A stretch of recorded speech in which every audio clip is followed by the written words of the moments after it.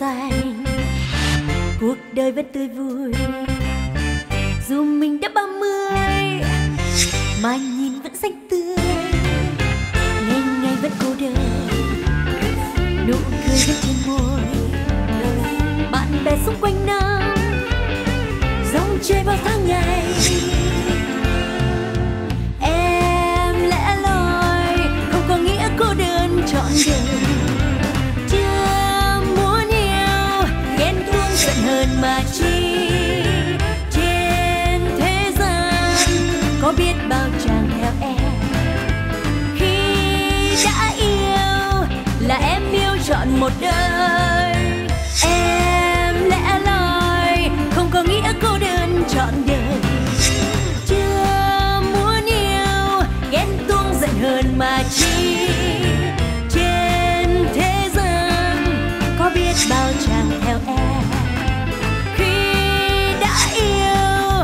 em yêu trọn một đời khi đã yêu là em. Yêu trọn một đời yêu suốt đời đấy nha.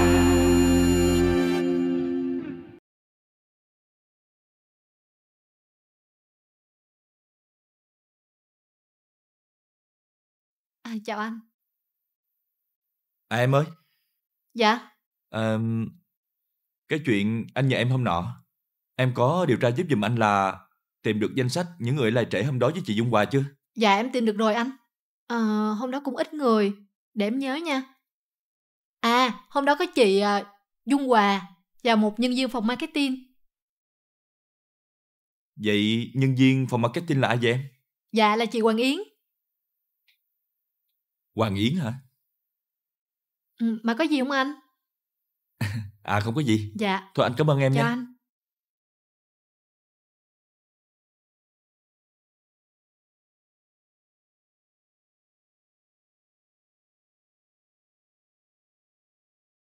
Nè Bé con nghe về chưa Mới về Đang học tô vẽ gì trong phòng á Ừ. Ừ. Mà nghe nói cuộc thi viết gì của ông hôm bữa đang rất thành công phải không? Tôi thấy bài viết gửi về cũng nhiều. Ông giỏi thiệt đó. Giỏi gì Mình tôi thì chẳng ra gì đâu Nhưng mà biết sao không Ý tưởng của Dung Hòa mới được như vậy đó Người tôi giới thiệu cho ông thì đương nhiên phải xịn chứ. Mà nhắc mới nhớ. Ông chưa có trả công cho tôi đó nha. Cân thử coi bao nhiêu ký Ừ. Ăn mập thay rồi còn đòi hỏi gì nữa Mà đi ăn không lý do thì cũng xem như là ông chưa có đãi. Láo cá. tôi láo cá sao cũng được. Miễn sao có Dung Hòa đứng kế bên là tốt lắm rồi. Mà cũng nhắc cho ông nhớ. Làm cái gì thì làm. Không được ăn hiếp Dung quà của tôi đó nha. Ông chỉ toàn ăn hiếp người khác không à. Làm như tôi là phát xít Người vừa đẹp vừa giỏi Nấu ăn ngon như Dung quà. Ai mà dám ăn hiếp Con gái tôi kìa Suốt ngày cứ cô Dung quà, cô Dung quà, Nghe riết phát mệt Ờ thì um, cô ấy tốt với ông á chỉ vì ờ, ông là bạn thân nhất của tôi thôi. Chứ ông đừng có thấy cô ấy tốt với ông như vậy, xong đem cô ấy về chăm sóc con luôn nha. Bộ Ông có ý tiến tới với Dung Hòa luôn à Ờm, ờ chưa. Nhưng mà tôi đã là của cổ luôn rồi. Hử? Vậy thì tốt, chúc mừng Yên tâm đi Giữa tôi với cổ chỉ là đồng nghiệp thôi Không có tình cảm riêng tư gì đâu mà lo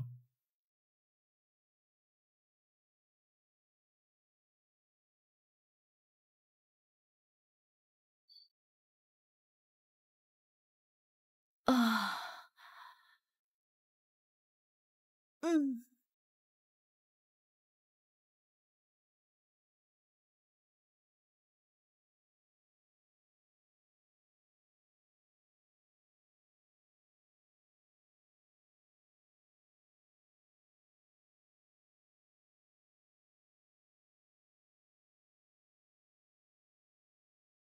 Ờm, chị Hòa ơi, chị về chưa?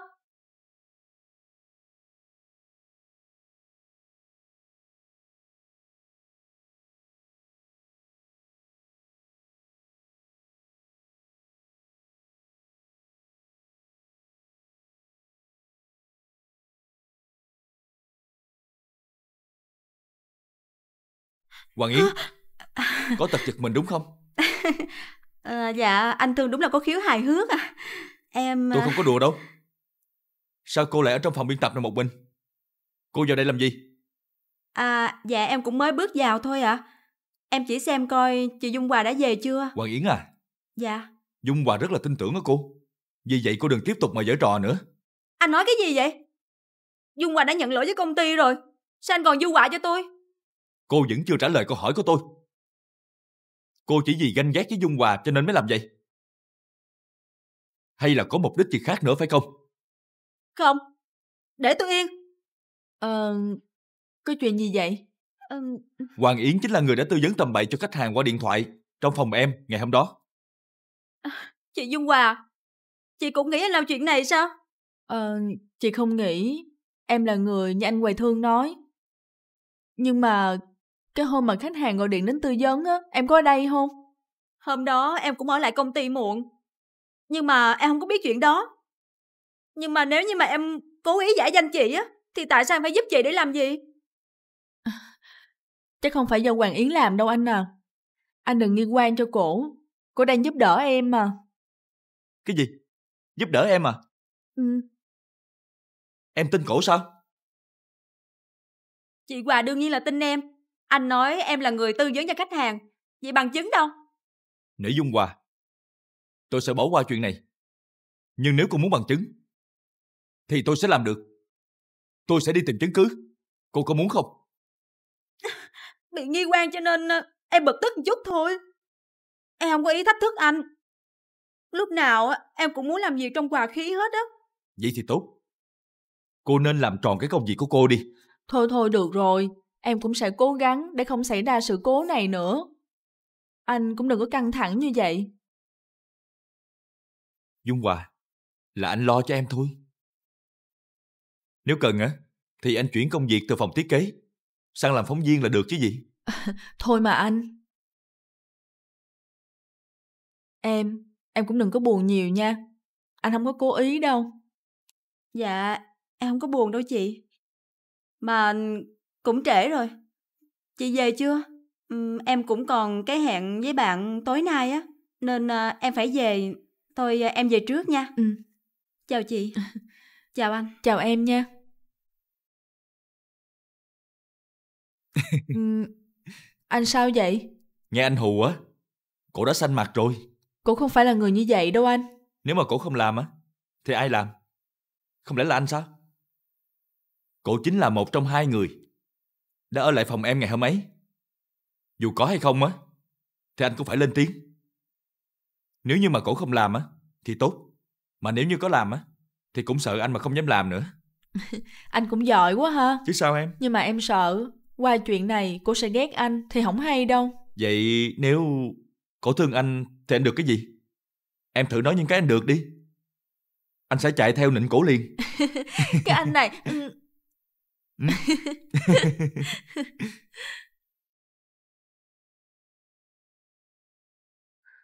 Chào cô. Chào anh. Ngân Nga, về con. Ba đón kìa.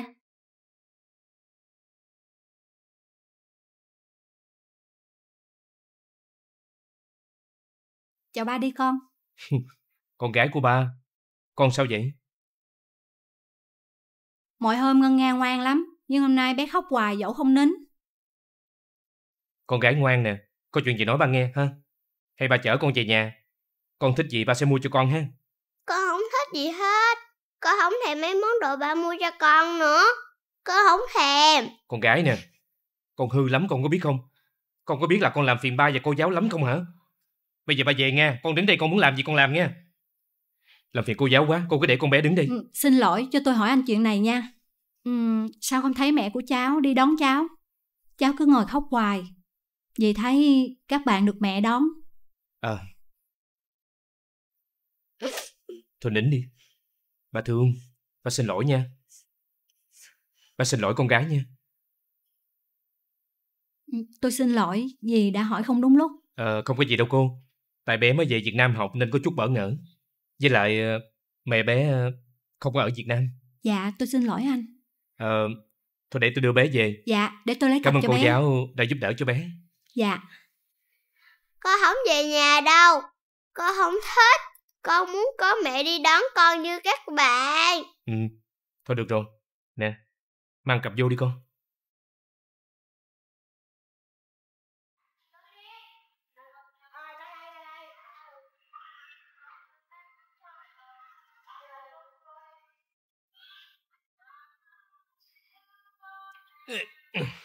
Thưa cô về đi con. Thưa cô con về. Chào con. Chào cô. Dạ chào anh.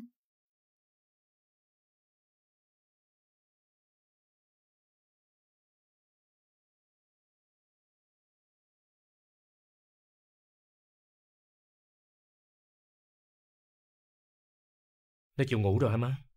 Shh. Ừ, ra ngoài đi.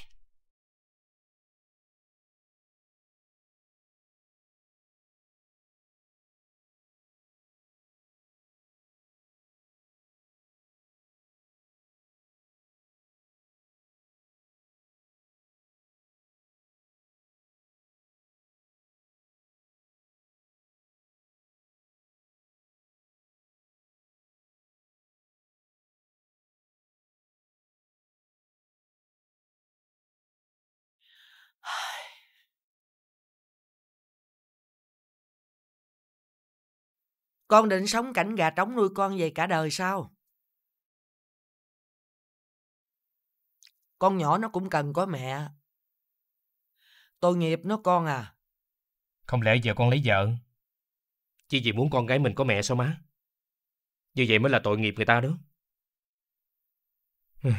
Hay để con tìm mẹ nuôi cho bé Ngân Nga. Con thôi đi. Không lẽ con cứ ôm hình bóng cũ mà sống suốt đời đến già đến chết hay sao? Cũng đã 5 năm rồi con à.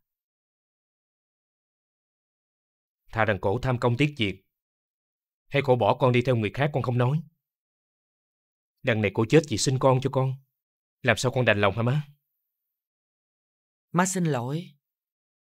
Má thương con. Mà hãy nói ra là con buồn, con đau.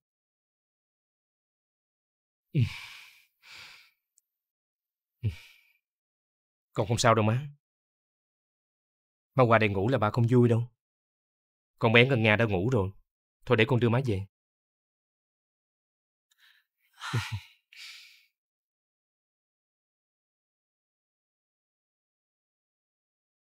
Sao kỳ vậy ta? Sao lâu quá không online? À, hay là cha Sơn Phong này trả sợ lộ, rồi chả bỏ nít luôn. Vậy thì làm sao mà mình dạch mặt được? Tức chứ. Làm ơn online giùm đi. Làm ơn đi mà. Làm ơn cho tôi dạch mặt đi.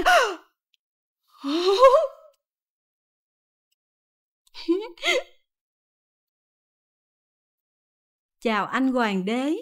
Lâu rồi không thấy anh online. Em chờ anh mãi. Chào em, công chúa mộng mơ. Mấy tháng vừa rồi á, anh bận quá, Ủa? không có thời gian online. Sorry em nha. Anh sorry em về điều gì?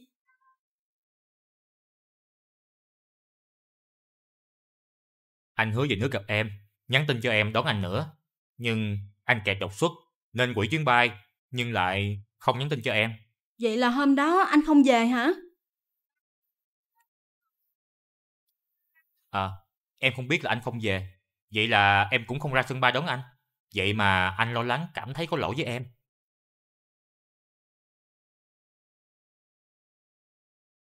Em có ra đón anh và có gặp một người mặc bộ đồ giống y chang như anh và có dẫn theo con nhỏ, nhưng lại từ chối là không phải là anh.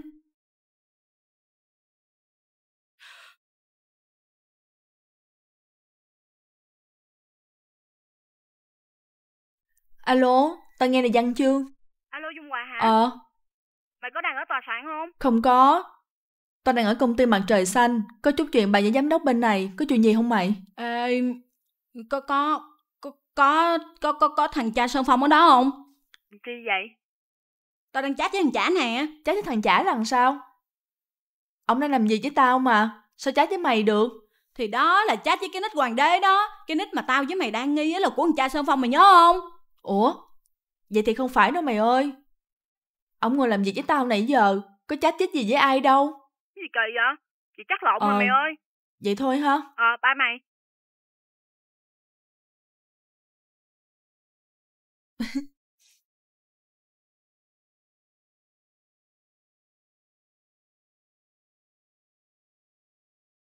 Thực tình tôi không ngờ là cuộc thi lại mang lại cho tôi nhiều cảm xúc về quê hương như vậy.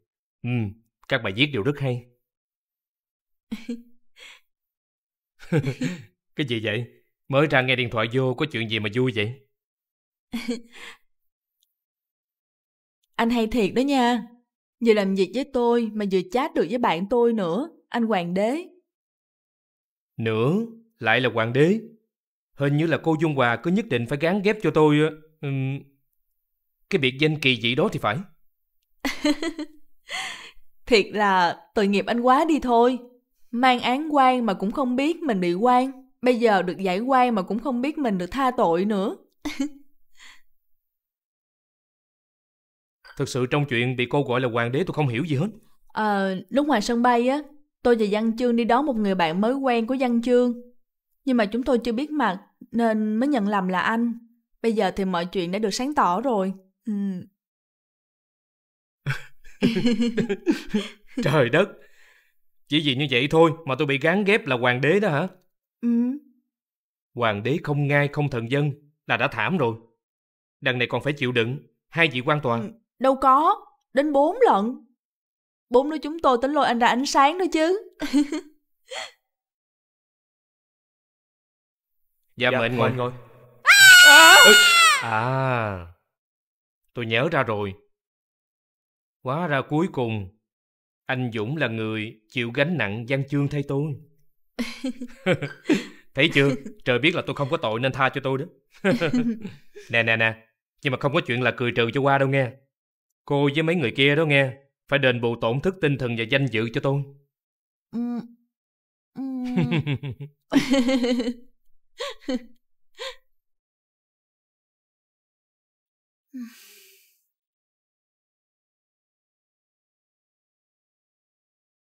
Nè, con à, Nội. ngày mai con đừng đi thành phố chi, có kính chồng được đâu. Con ở nhà đi, để nội với ba mẹ con lo. Nội à, ở thành phố con còn công việc nữa, đâu phải mỗi chuyện kiếm chồng đâu nội. Không biết.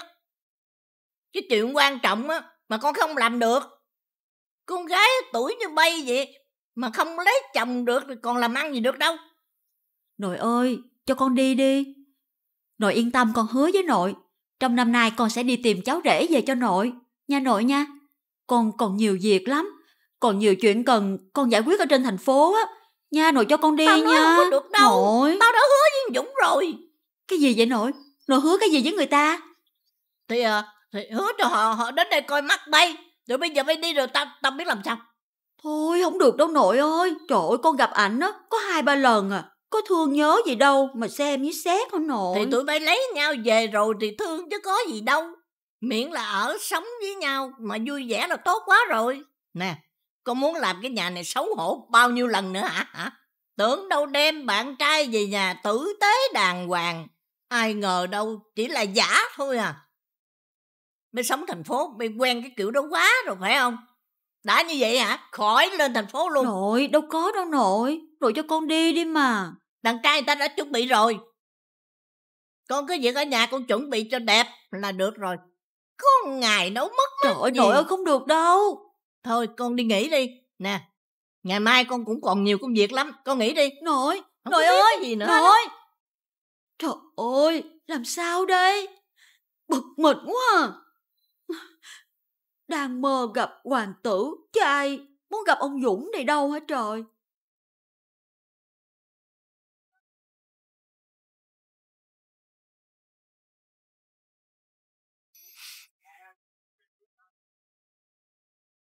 Tôi thấy cô ta rồi. Con chim non không còn bé bỏng của anh. Hello. Ừ. Sao anh lại ở đây? Anh tính giở trò gì nữa? Thăm em bất ngờ không được sao? Người ta nói á, gặp ba lần là duyên, mà thương ba lần là nghiệp. Chắc là mình có duyên nghiệp với nhau, gặp nhau hơn ba lần rồi. Xin lỗi anh, tôi không muốn bị làm phiền đâu. Tôi không có mời anh. Thì anh mời em, có gì đâu quan trọng đúng không? Sao mấy tuổi ở đây mà đến? Anh theo dõi tôi phải không? À, thì em bình tĩnh.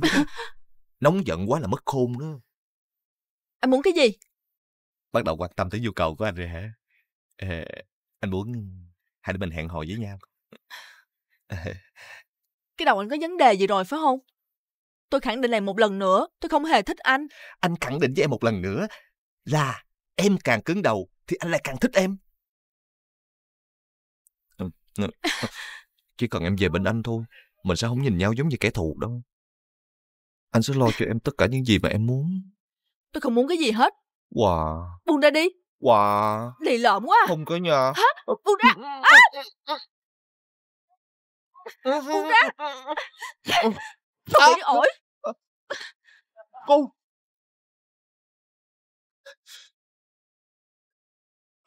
Mẹ nó. Gái ế mày đặt làm cao hả? Cô tưởng cô ngon lắm sao? Cô đợi đi. Cô tôi sẽ làm gì gia đình của cô nè.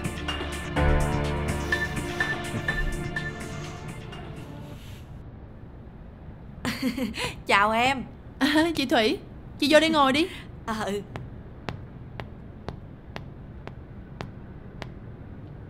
Cắm qua cho chị xong chưa Dạ chị chờ chút xíu nha. Mẹ em đang cắm bên trong sắp xong rồi đó. Để em vô coi xong chưa, em lấy ra cho chị luôn. Ừ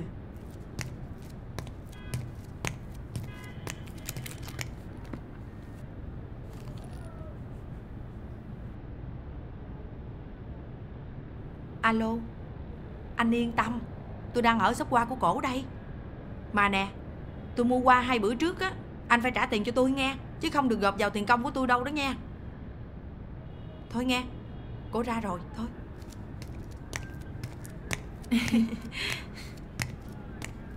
Chị ngồi chơi, chờ mẹ em chút xíu nha. Gần sắp xong rồi đó, mẹ em À. làm sắp xong rồi. Chị, Ừ? chị đẹp quá. à. Lần nào chị tới đây cũng đẹp hết trơn á. em nhớ cái lần trước á, chị tới với bộ đồ với lại túi sách màu hồng, nhìn trẻ trung lắm. Còn bữa nay hả, nhìn chị sang trọng và quý phái. Chắc là chị mặc đồ hiệu không đúng không? Ờ Chị không bao giờ mua sắm ở Việt Nam hết á. Chị sang Mỹ hay đi xin mua sắm không à? Hàng bên đó mới mà đẹp nữa Với lại không có hàng nhái nữa. Mà chị thấy em còn trẻ Lại xinh đẹp nữa. Em mà đầu tư ăn mặc một chút xíu ha Còn trẻ đẹp hơn chị gấp 10 lần nữa đó. Em suốt ngày ở nhà như vậy Mặt đẹp á hả? Cũng đâu có làm gì đâu chị Đâu có ai ngắm đâu. Với lại, em bán hoa vì mẹ chồng của em, Thì làm gì có điều kiện Để mà xài đồ hiệu. Ờ thì ra là vậy. Em phụ thuộc vào kinh tế quá ha Chắc là cũng không được thoải mái chút nào phải không? Cái gì thì cái. Mình á, phải làm ra tiền riêng của mình. Vậy tiêu xài mới được thoải mái em à. Cuộc sống này á, Phụ nữ mà không làm được ra tiền á. Dễ bị bên gia đình nhà chồng á, Coi thường lắm em ơi. Ngày nào cũng canh nhà cho mẹ chồng của em Rồi cắm hoa bán hoa như vậy. Thì làm sao có cơ hội làm giàu được chị? Ừ.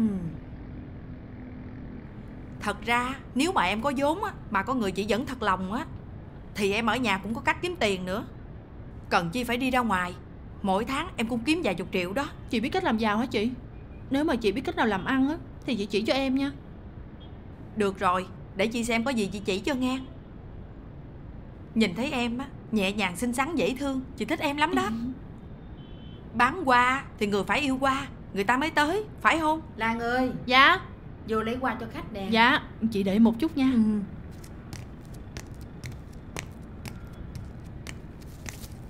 Hoa của chị đây. Rồi Chị gửi tiền em nghe. Dạ. Nè em. Em cảm ơn chị. Chị đi nghe. Chị. Sao Chị em? nhớ nha Có cái gì làm á Chị nhớ chỉ cho em nha. Em yên tâm đi Chị em mình đã quen biết nhau rồi. Chị sẽ giúp em cơ hội làm ăn. Dạ. Chị đi nghe. Dạ. Em chào chị.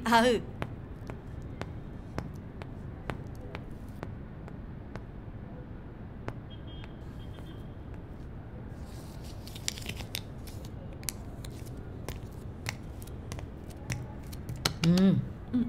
Ừ. Mẹ. Làm thì không làm Mà cứ ngồi đó mơ với màn gì đó Khách vừa mới đi xong Con ngồi nghỉ mệt chút xíu mà mẹ Con làm gì từ sáng tới giờ mà mệt Có đóng qua đây nè Suốt từ sáng tới giờ mà cũng không dọn Con chút xíu cũng la nữa mình đi kiếm việc làm. Mai mốt vào á, coi có còn la mình nữa không?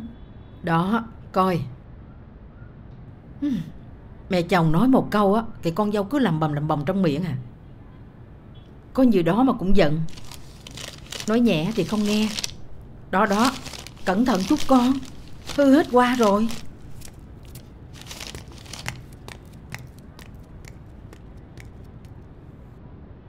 Nói nhẹ thì không nghe, cứ toàn để cho người ta nói lớn tiếng không à.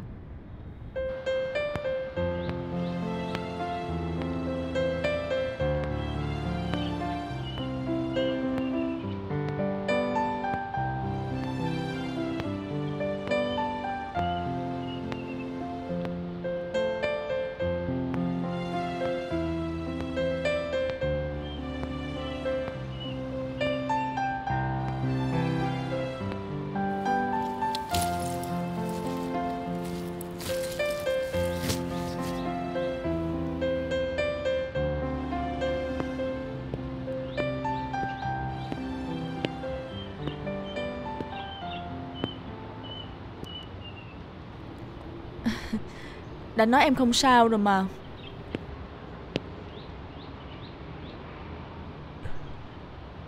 Tên khốn đó có làm gì em không? Hắn mới làm được gì em? Hắn chỉ làm em bực mình thêm thôi. Em đã nói em không sao rồi. Anh còn đến đây làm gì nữa? Anh thấy không? Em rất là khỏe mạnh Không có bị gì hết. Em chỉ ờ, đi bộ đi dạo tập thể dục thôi. Nè em tập cho anh coi nè. Một hai ba bốn hai hai ba bốn. Anh thấy chưa? Em yêu thể thao lắm chứ bộ. Thôi được rồi. Ghét em quá đi. Nè Lần này thôi đó nha. Lần sau không có được như vậy đâu. Nghe em than phiền chút xíu là anh chạy đến liền à. Công việc của anh thì sao?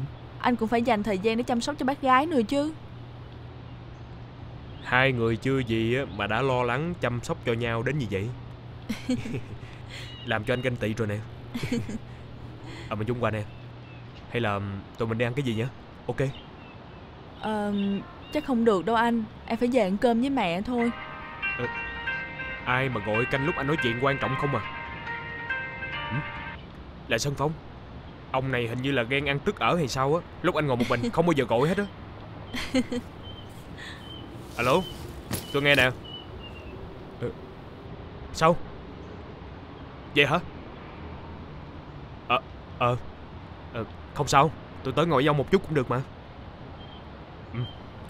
Ờ Có chuyện gì hả anh? Sao anh căng thẳng quá vậy? Ờ Sơn Phong đang gặp chuyện. Cô con gái cưng của Sơn Phong đó. Một hai cứ đòi mẹ Mà khổ nổi con bé đó. Ờ ờ, Mà, mà thôi Chuyện của Sơn Phong á Anh không nhiều chuyện được đâu. Ừ, Vậy giờ sao? Anh phải đi hả? Anh phải qua bên đó một chút coi sao. Em rảnh á, thì qua bên đó với anh Con bé mà gặp em chắc sẽ đỡ hơn Anh thấy nó mến em lắm mà Hôm bữa em làm bánh với ờ, chả giò gì đó Trời ơi, Nó ăn quá trời luôn em nhớ không Ừ Ừ Vậy mình đi thôi Ờ.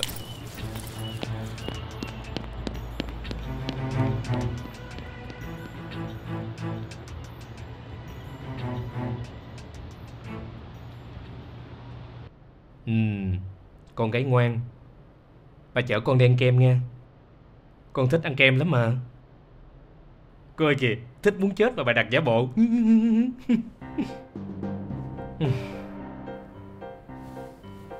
Nè.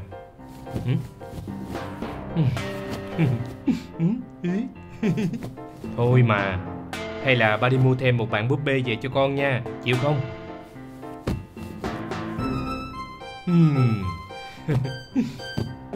Chú Trần Tình vui tính sắp đến nhà mình chơi rồi đó. Chú chú tới đây ha. Ai mà đồ chơi với chú á là bà không cho đâu. Chú tới mà chú thấy cái mặt như vậy á, chú buồn hay là chú bỏ chú đi về luôn.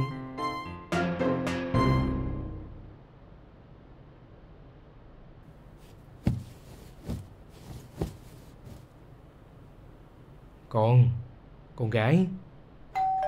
ừ?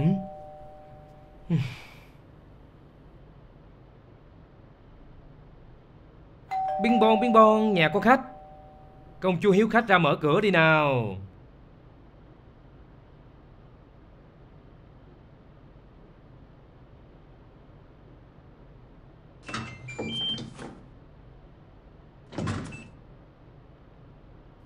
Xin lỗi, khách không mời mà tới. Tại vì tôi nghe anh Trần Tình nói bé Ngân Nga bị... Cho nên... Ờ... Con gái của cô Con sao vậy nè Con bị bệnh hả? Dung Hòa coi có cách gì giúp tôi? Tôi bỏ tay con bé rồi. Không hiểu sao mấy bữa nay cứ đi học về á Không nói năng gì hết. Hôm qua thì còn khóc Hôm nay là không động đậy gì luôn. Vậy chứ hôm qua ông giải quyết sao? Gọi bà nội tới chứ sao? Năn nỉ đã đời mới chịu nín chịu ngủ. Tưởng đâu đỡ rồi ai về đâu. Hmm. Vậy là Ngân Nga thích chơi với cô Dung Hòa hơn đúng không? Vậy thôi ba với chú Trần Tình vô làm việc nha Nhờ Dung Hòa chơi với bé giúp tôi nha Dạ anh yên tâm Ừ Con gái Con bị bệnh rồi phải không Cô sẽ nhờ ông Tiên cho con một ờ, bông hoa cúc Để con mau hết bệnh nha Trong chuyện cổ tích hoa cúc á, không phải là con bị bệnh mà là mẹ bị bệnh. Con phải đi xin ông tiên hoa cúc để về cứu mẹ. Nhưng mà Ngân Nga không có mẹ.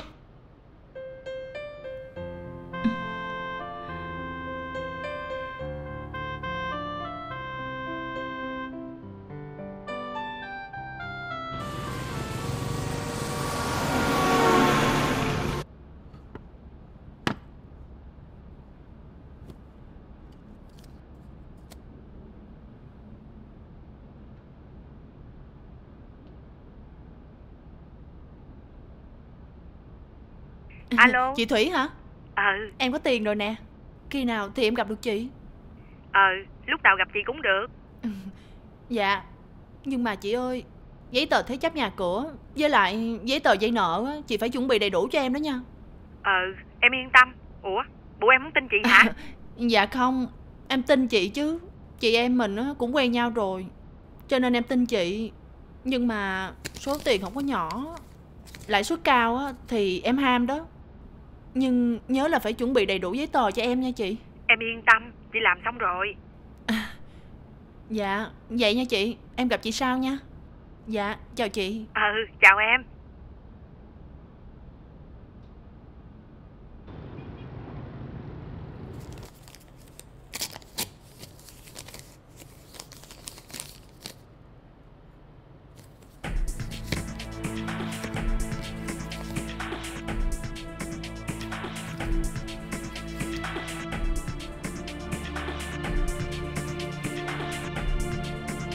hình Dung Hòa và sở danh. Kẻ nào mà chơi trò đê tiện như vậy?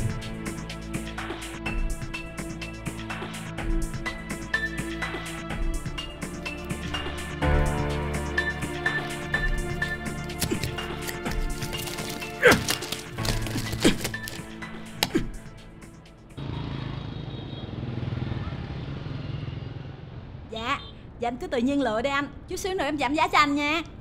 Anh ấy ơi! Cái đó mà vô body của anh á Em nói hết sảy luôn á. Lấy cái đó đi anh.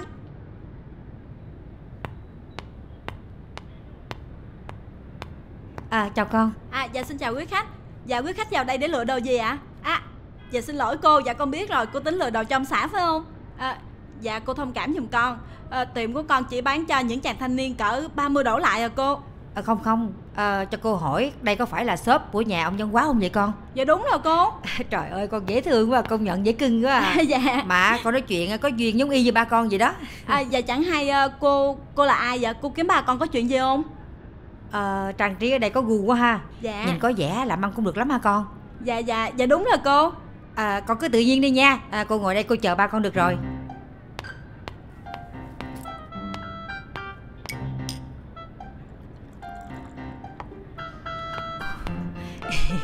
à, Dạ. Dạ cô cho con mạng phép hỏi một lần nữa. Dạ cô là ai? Cô tìm ba con có chuyện gì không cô?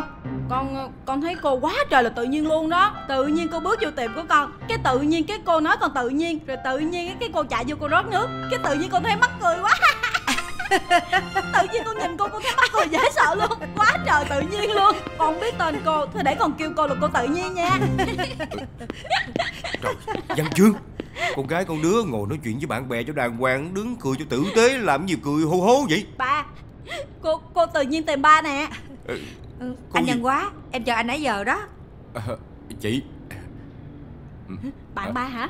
Nè ờ. Đi theo tôi Chị ra đây tôi nói chuyện chút Chào con nha. Dạ con chào cô tự nhiên. Đi đâu vậy anh?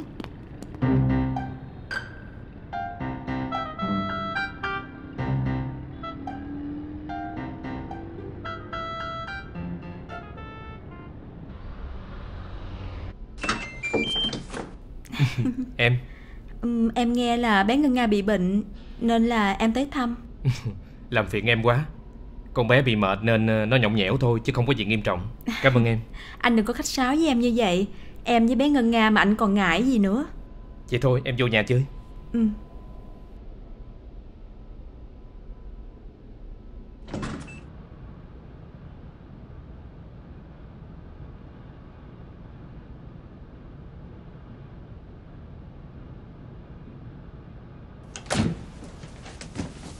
Con Bé Ngân Con Nga. chào cô Hàng Yến. Ừ, chào con.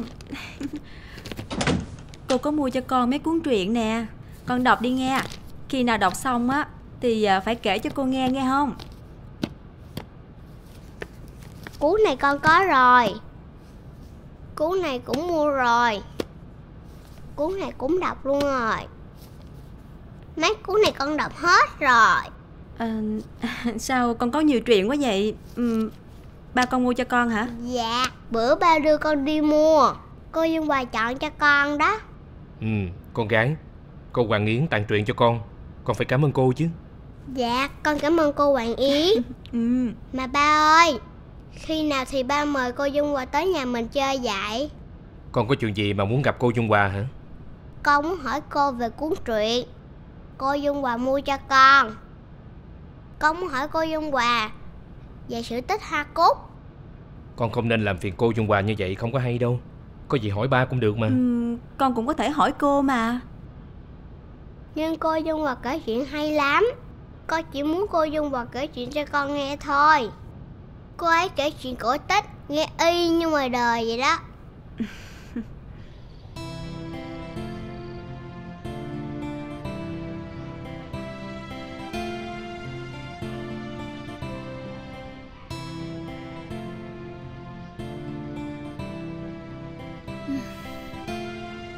ơi là chán. Bực mình thiệt đó. Tự nhiên không cho người ta lên thành phố. Bây giờ biết làm sao đây?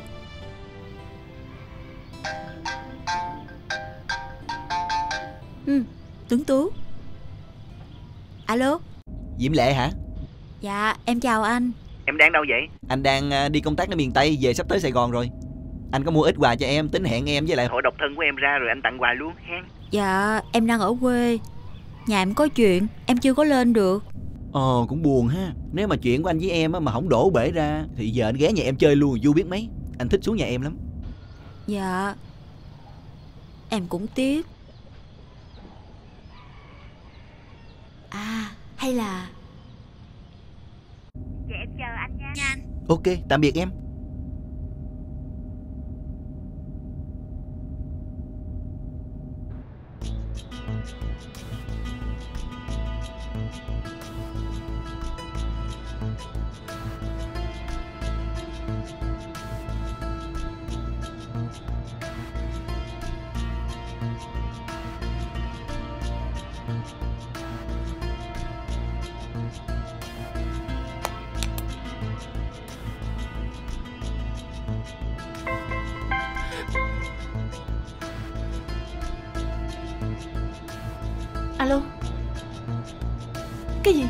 Thiệt hả? Cô nói sao? Không có công ty nào như vậy thiệt hả? Con cũng không biết Chỉ biết là cặp visit đề chị Thủy là giám đốc công ty thôi Nhưng mà hôm qua tới giờ gọi hoài không được Sao? Ờ, được rồi Cảm ơn cô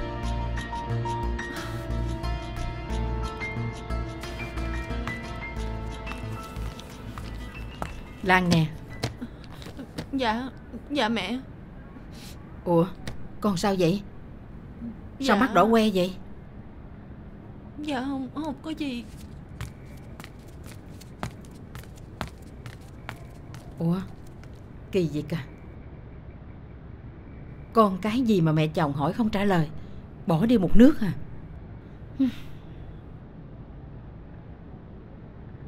Dâu với con Nói gì ra là cãi phăm phăm Làm thì không tới nơi tới chốn Giờ còn như vậy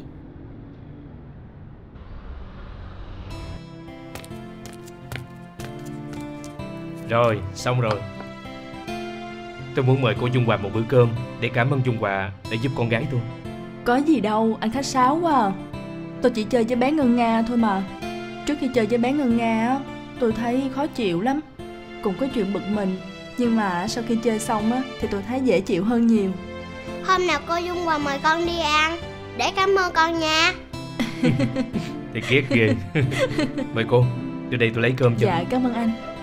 Sao ba không nhờ bà nội nấu Ba nấu dở ẹt à Chưa ăn sao biết. Ừ?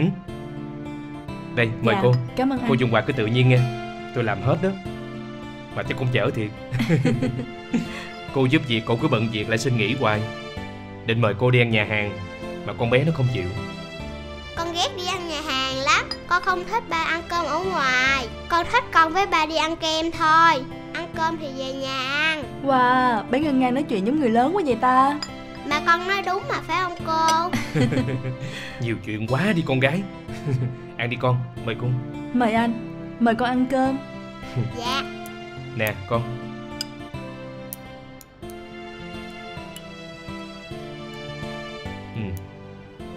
Món này hơi bị lạc. hơi bị lạc hả? Để tôi lấy nước tương nha. Cô Dung Hòa được xuống bếp Ba mà nấu ăn là bếp bày hài lắm Ba hay quên đồ tùm lum mà Cứ kể tội ba hoài. để tôi lấy cho. Dạ.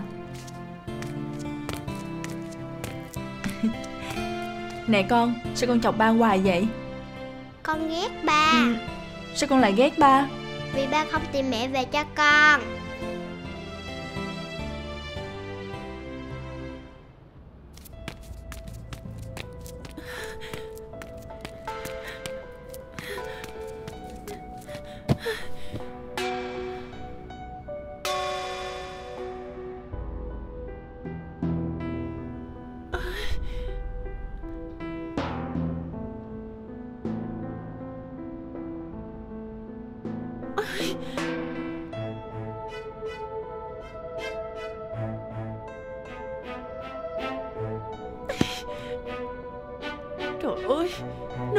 bỏng như vậy mà Điện thoại gọi không được.